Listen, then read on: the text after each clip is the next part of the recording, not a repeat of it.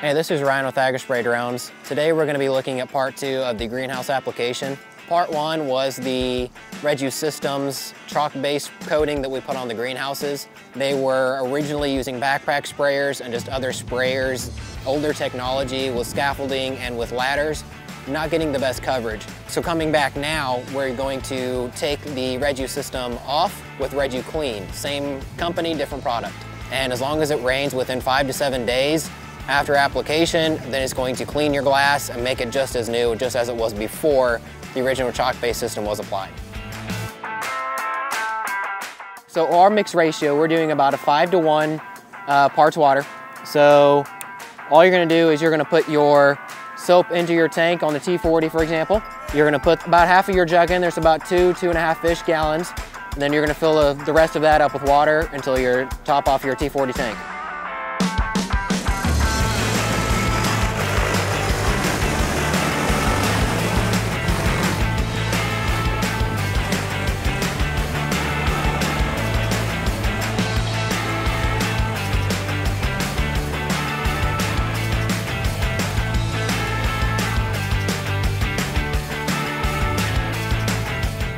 Hi, I'm Michelle Brooks. I am the Plant Growth Facility Coordinator for CAFNR and part of the University of Missouri.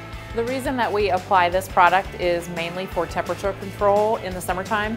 Um, most of the plants want the high light conditions, but we can't keep the greenhouses cool enough without putting some sort of shade um, compound on it.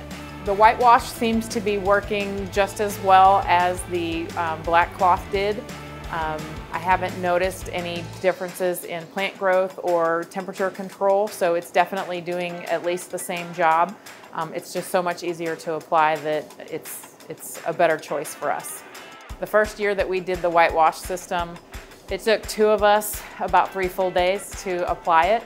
A little bit less than that to take it off, but we were trying to do it through the ridge vents on ladders, you know, in between all the steam lines and everything, and it took forever to do. When the drone did the application last year, it was done in just about three or four hours. I will definitely be doing this every year from here on out.